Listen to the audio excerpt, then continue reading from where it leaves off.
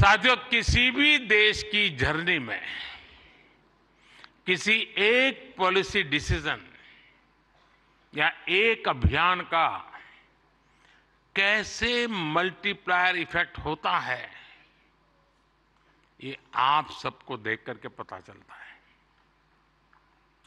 दस साल में हुए डेटा रिवॉल्यूशन से लेकर सस्ते मोबाइल फोन्स डिजिटल अभियान इंडिया अभियान ने एक प्रकार से कंटेंट क्रिएटर्स की एक नई दुनिया क्रिएट कर दी है। और पहली बार ऐसा हुआ होगा जब किसी सेक्टर की युवा शक्ति ने सरकार को प्रेरित किया हो, सरकार को मजबूर किया हो कि कब तक बैठे रहोगे, इसको भी सोचो। और इसलिए भी आप बधाई के पात्र हो। आज के इस अवार्ड फ़ंक्शन का क्रेडिट अगर किसी को जाता है तो भारत के मेरे युवा मन को हर डिजिटल कंटेंट क्रिएटर को जाता है। साथियों, भारत का हर कंटेंट क्रिएटर एक और बात को रिप्रेजेंट करता है।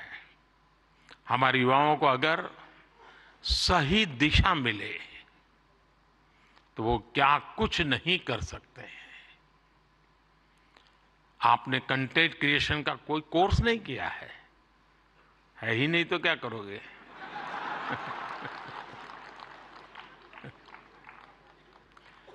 पढ़ाई के टाइम करियर सेलेक्ट करते हुए ये सोचा भी नहीं होगा कि हम कंटेंट क्रिएटर जैसा कुछ बनेंगे।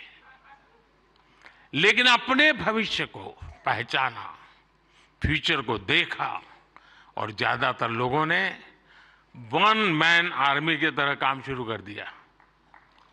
अब ये श्रद्धा को देखिए, खुद अपना मोबाइल लेकर के बैठ जाती है।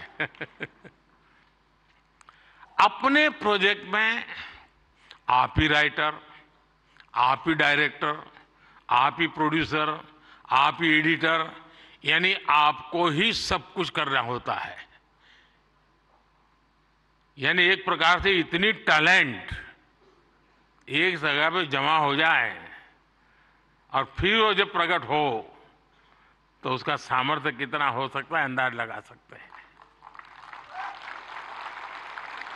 आपने आइडियाज़ गढ़े, इनोवेशन किए, और उन्हें स्क्रीन पर जीवंत बनाया।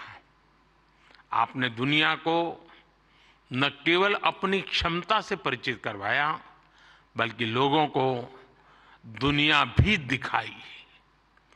आपने जो हिम्मत दिखाई, उसी के कारण आज आप सब यहाँ पहुँचे हैं और देश बड़ी आशा के साथ आपको देख रहा है। आपका कंटेंट आज पूरे भारत में ज़बरदस्त इंपैक्ट क्रिएट कर रहा है। आप एक तरह से इंटरनेट के एमबीपी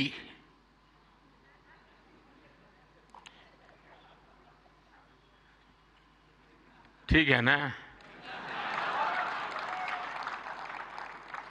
थोड़ा दिमाग खपाओ क्रिएटिविटी बताओ अपना। जब मैं आपको एमपीपी कहता हूँ मतलब मोस्ट वैल्यूएबल पर्सन बन गए।